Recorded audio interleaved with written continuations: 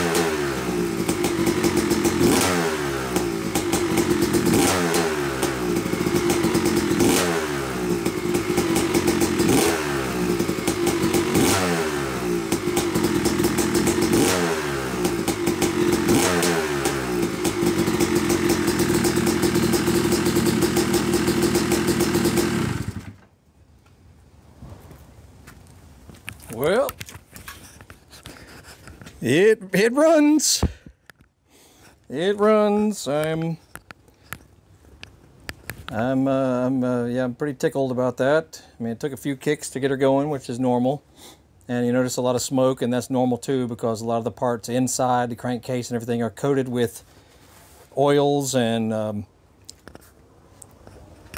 break-in fluids and whatnot. So it's pretty normal for it to smoke that much, you know, in the first couple of cranks. So we'll let it cool down for a few minutes and then we'll fire it up again. All right, we've let it cool down now and we're going to fire it up again and let it warm up to about 100 degrees, 125 degrees or so. So here we go.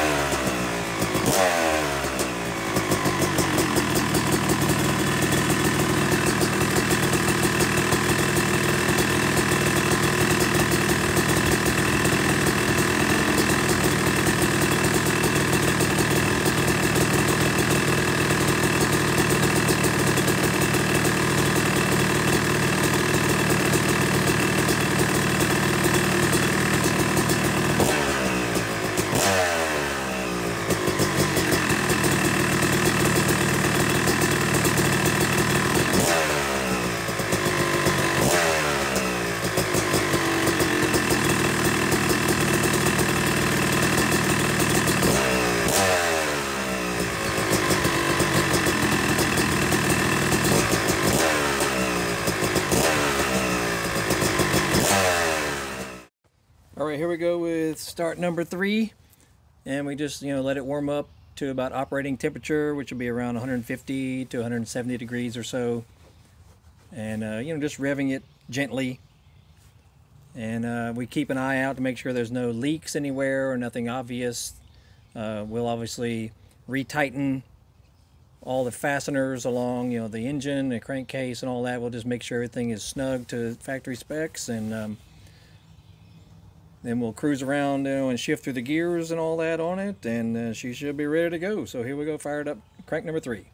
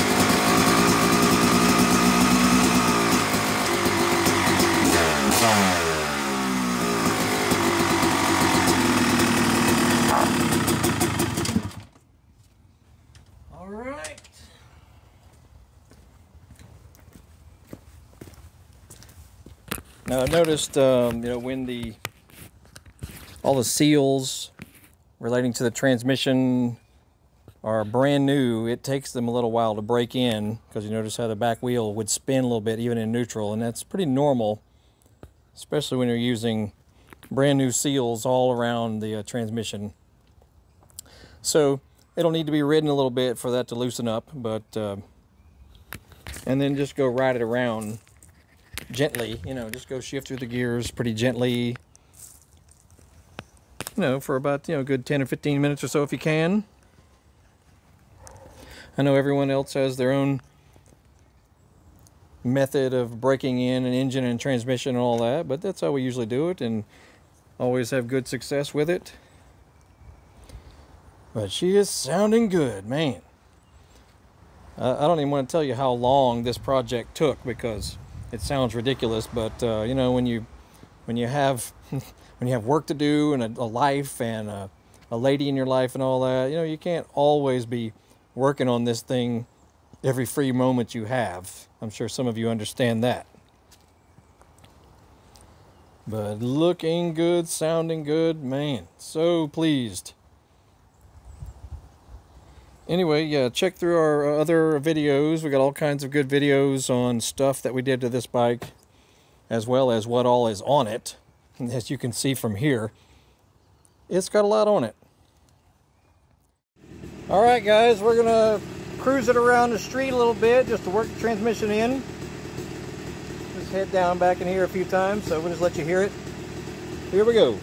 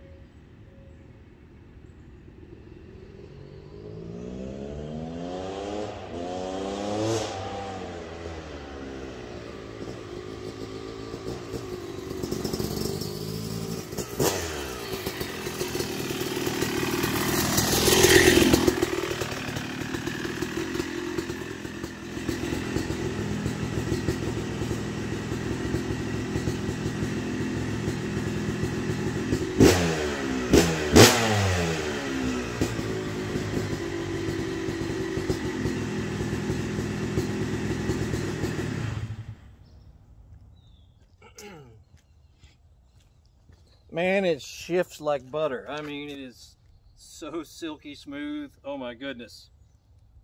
Even better than it was before. Like, wow, just silky smooth shifting. Good grief. That, that thing feels so smooth. I mean, wow. That's, uh, you know, that's my first time with an engine rebuild like that, you know, from top to bottom transmission, all bearings, all seals. I even replaced, you know, shift shaft and other stuff that didn't even need to be replaced, but I went ahead and did it anyway. Because, you know, you're going that far into it, and this is a bike that I'm, I'm keeping this bike basically forever. So we, uh, we replaced everything inside there, basically. Good grief. Really felt nice, that's all I can say. I mean, I would I would compare it to how a brand new bike feels, you know? I mean, goodness. It's it's what you want it to feel like. really, really good. I know I'm probably boring some of you to tears with all this, but you know, when you do a project this involved, it just feels good when uh, when it seems to turn out okay and it runs good, it shifts good. I mean, everything, everything inside that bottom end, everything, clutch. I mean, we kept the uh, the gears themselves as far as the transmission goes because they were fine. But as far as all seals, all clips, all bearings, all even the uh, power valve linkage, um, Kickstarter spring, you know, just uh, shift shaft, just everything. Everything inside there. New flywheel, new stator, new CDI, all the new electronics, everything. New kill switch even. You know, some just tons of new stuff, you know? I mean, I haven't ridden this thing in in a long time. I won't even tell you how long it's been, but because of this project, it just basically kept the bike down for a very long time, and it is ready to rock and roll. Thoroughly happy about that. Anywho, I won't bore you guys any longer, but uh, yeah, Mr. White is running fantastic, and um, we're ready to get it back out on the track. And make sure you check out uh, all our other videos. Y'all have a good day. We'll see ya.